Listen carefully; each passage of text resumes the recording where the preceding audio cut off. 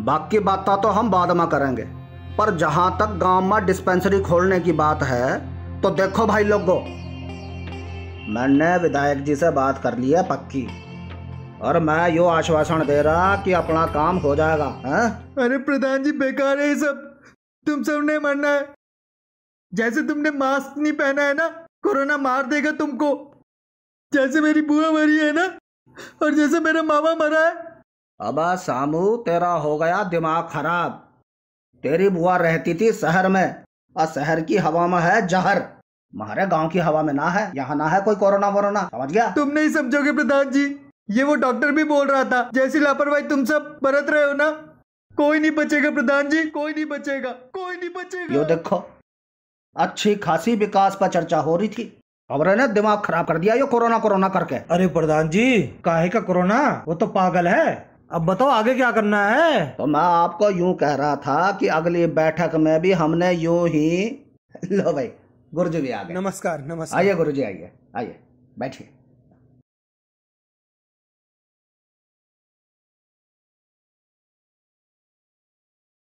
अच्छा हुआ आप सब लोग यहीं पर मिल गए। मुझे आप लोगों से ही मिलना था आपसे ही बात करनी थी। ऐसी क्या बात होगी गुरुजी? कोई दिक्कत परेशानी? प्रधान जी मुझे बड़ा दुख हुआ यहाँ पर ये सब देख करके। इतनी खतरनाक बीमारी फैली हुई है पूरी दुनिया में। और आप लोग बिना मास्क और बिना सामाजिक दूरी के बैठे हुए हैं। बड़ी खतरनाक बीमारी है। छोटे से विषाणु से फैलती है। पता भी नहीं लगता। अरे आप चिंता ना करो। यो गलत फहमी है। कोई कोरोना वोरोना नहीं। यो शहरों के चोचले। हमारे गाँव में तो देख लो। सब फ़र्स्ट क्लास अरे कोई दिक्कत ना। कोई कोरोना नहीं यहाँ। अरे प्रधान जी यही तो गलत फहमी है। इसी गलत फहमी की वजह से तो बड़े बड़े देश बर्बाद हो गए कोरोना से। इसीलिए मैं इस बीमारी के बारे में आप सब लोगों को जागरूक करने के लिए स्कूल की तरफ़ से और सरकार की तरफ़ से आया हूँ। इस बीमारी से हम बच सकते हैं छोटी छोटी चीज़ें करके बच सकते हैं। इससे बचने के लिए बस आप बार बार हाथ धोएँ साबुन से, या साबुन अगर आसपास उपलब्ध नहीं है तो आप अल्कोहलिक सैनिटाइजर से हाथ धुल सकते हैं। आप लोग सामाजिक दूरी से बैठें, मास्क लगा करके बैठें बार बार अपने हाथों को सैनिटाइज करें। तो इस बीमारी से बच सकते हैं हम लोग। ये जो विषाणु है ये छूने से खांसने से छींकने से फैलता है। अगर हम दो गज की दूरी रखेंगे तो इस विषाणु को रोक सकते हैं क्योंकि ये बहुत ज़्यादा दूर हवा में जा नहीं सकता है। गुरु जी इसमें हम और क्या कर सके हैं? ये नसीमा आपा हमारी एसएमसी के अध्यक्ष भी हैं। तो ऐसा कर लेते हैं स्कूल में एक एसएमसी की बैठक बुला लेते हैं। वहाँ पर इस बीमारी के बारे में भी चर्चा हो जाएगी और बाकी सारी आपदाओं के बारे में भी चर्चा हो जाएगी। मैं ऐसा करता हूँ एक डॉक्टर साहब को भी बुला लेता हूँ। वो इस बीमारी के बारे में और खुल के बता सकते हैं। और एक आपदा विभाग से भी किसी को बुला लेता हूँ। वो बाकी आपदाएँ जो हमारे गाँव में आती हैं हमारे आसपास जो चीज़ें हैं उसके बारे में विस्तार से बता सकेंगे आप लोगों को। तो कल 11 बजे स्कूल हाँ। में बैठक बुला लेते हैं गाँव के लोगों को हम बोल देंगे। वाह वाह वाह वाह। हाँ ठीक है ठीक है ठीक है। आई है महामारी संकट बड़ा है भारी। इसको दूर भगाने की कर लो सब तैयारी। आई है हमारी संकट बड़ा है भारी। इसको दूर भगाने की कर लो सब तैयारी। कोरोना हराना है देश समाज बचाना है। कोरोना हराना है देश समाज बचाना है। आई है हमारी संकट बड़ा है भारी। इसको दूर भगाने की कर लो सब तैयारी। दो गज की दूरी मास्क है ज़रूरी। वैक्सीन लगवाओ, सुरक्षा होगी पूरी।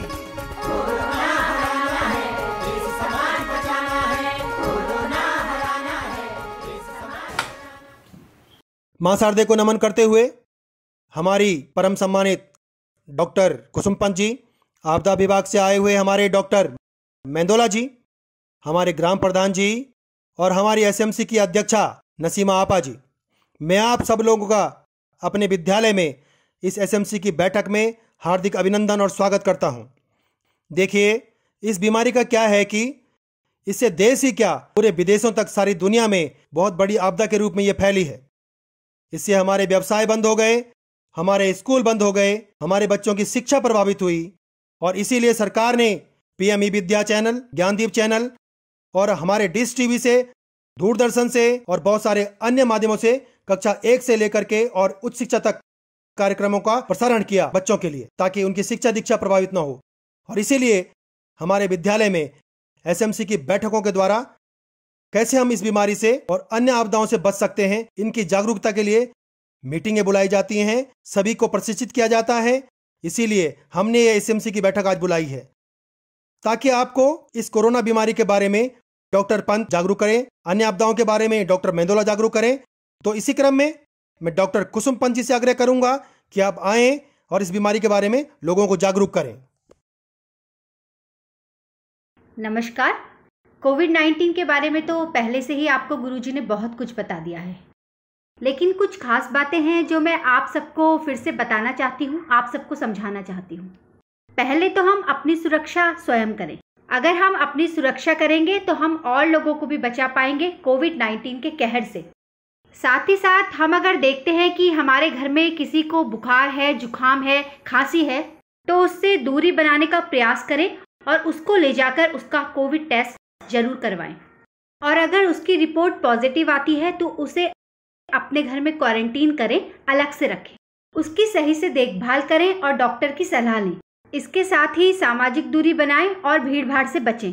अपने हाथों को बार बार सैनिटाइज करें। समय समय पर अपने हाथों को साबुन से धोते रहें। डॉक्टर साहिबा वैसे तो कोरोना का कोई केस हमारे गाँव में आया नहीं। लेकिन कुछ ऐसा बताओ कि कोरोना आवे ही ना। आपने बिल्कुल सही पूछा, नसीमा आपा। अगर कोई व्यक्ति आपके गाँव में बाहर से आता है तो सबसे पहले उसका कोविड टेस्ट कराएँ। अगर उसकी रिपोर्ट पॉजिटिव है तो उस व्यक्ति को क्वारंटीन करें। और अगर उसकी रिपोर्ट नेगेटिव आती है तो आप लोग उससे मिलजुल सकते हो। ऐसा करने से वो व्यक्ति भी सुरक्षित रहेगा और आपका गाँव भी सुरक्षित रहेगा। और बचाव का सबसे मज़बूत और सुरक्षित तरीका है वैक्सीनेशन। और हम सभी लोगों को समय पर वैक्सीनेशन करा लेना चाहिए। हमारी सरकार ने कई जगह पर मुफ़्त वैक्सीनेशन केंद्र लगाए हैं और सरकार द्वारा मुफ़्त वैक्सीनेशन का सबसे बड़ा अभियान हमारे देश में चलाया जा रहा है। डॉक्टर साहब अब यो कोरोना का तो हमारे गाँव में इतना डर नहीं है।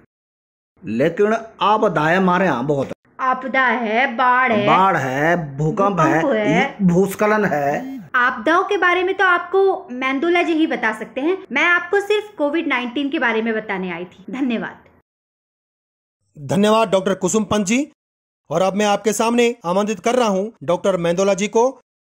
आप आपदा विभाग से हैं और आपको आपदाओं के विषय में विस्तृत जानकारी देंगे। डॉक्टर मेंदोला जी, आपका स्वागत है।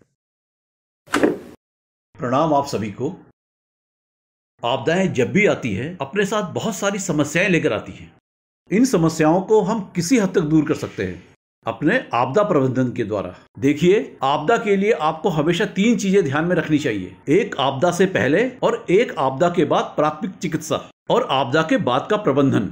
और आपदाएँ भी कई प्रकार की होती हैं, जैसे बादलों का फटना, भूस्खलन, बाढ़, बिजली का गिरना, भूकंप और जंगली पशुओं का आक्रमण। मगर एक आपदा तो बिल्कुल नहीं आई है, वो है साइबर क्राइम। मैं आपको इन आपदाओं के बारे में थोड़ी थोड़ी जानकारी देने की कोशिश करूँगा। जैसे भूकंप, जब भी भूकंप आता है तो आप किसी आड़ के नीचे खड़े होने की कोशिश करें। टेबल के नीचे, पलंग के नीचे, या आप घर से बाहर आ सकें तो सबसे अच्छा है। और दूसरी आपदा है बाढ़। जब भी बाढ़ आती है, आप अपना ज़रूरी और कीमती सामान लेकर ऊँचे स्थानों पर जाने की कोशिश करें। अगर पास में ऊँची बिल्डिंग हो तो उसकी छत में जाने की कोशिश करें। और तीसरी समस्या है बादल का फटना। बादल फटने पे एक साथ बहुत सारा पानी एक ही जगह पर बहना शुरू हो जाता है। तो सबसे पहले आपको यह करना है कि बहाव वाली जगह से अपने को सुरक्षित ऊँची जगह पर ले जाने की कोशिश करें और नदी और नालों से अपने को दूर रखें। और चौथी समस्या है बिजली का गिरना। जब भी आपको लगे कि बस बिजली गिरने वाली है तो सबसे पहले तो आप अपने को ऊँचे पेड़ों और बिजली के खंभों से दूर रखें। और अगर आप खुली जगह पर हों तो अपने घुटनों के बीच में अपने सर को छुपाकर उकड़ू बैठ जाएँ। और पांचवी समस्या है जंगली जानवरों का आक्रमण। जब भी कहीं आपको ऐसा लगता है कि यहाँ पर जंगली हाथियों, भालू और बाघ का खतरा बढ़ रहा है तो सबसे पहले वन विभाग को सूचित करें और अपने पास कुछ पटाखे रखें, उनको बजाने से ताकि जंगली पशु भाग सकें। और खासकर बाघ से बचाव के लिए अपने घर और गाँव के आसपास की झाड़ियों को साफ़ करके रखें, ताकि बाघ वहाँ छुप न सके। और आखिरी समस्या है साइबर क्राइम। आजकल बच्चे मोबाइल और इंटरनेट का बहुत ज़्यादा प्रयोग कर रहे हैं। उससे उनके साइबर क्राइम में फंसने के चांसेस बहुत ज़्यादा हो जाते हैं। तो आप अपने बच्चे पर हमेशा नज़र रखें। अगर आपको ये लगता है कि आपका बच्चा गुमसुम है, उदास है तो हो सकता है कि वो साइबर क्राइम की चपेट में है। तो उसकी काउंसलिंग करें, उससे खुलकर बात करें और उससे मित्रवत व्यवहार करें। देखिए, आपदाएँ तो बहुत सारी हैं। आप आपदाओं को रोक नहीं सकते। लेकिन अगर हम थोड़ी सी सावधानी रखें तो अपना बचाव कर सकते हैं, ताकि हमें कम से कम हानि पहुँचे। धन्यवाद। अगर आपदा से है बचना बात हमारी सुन लो। चंद सावधानी अपना कर जीवन अपना चुन लो। भूकंप से धरती जो कांपे इतना काम करो तुम। बिना डरे मज़बूत आड़ के नीचे कहीं छिपो तुम। बादल फटे बाढ़ जो आए, ऐसे जान बचाओ। कागजात धन गहने ले सुरक्षित स्थान को जाओ।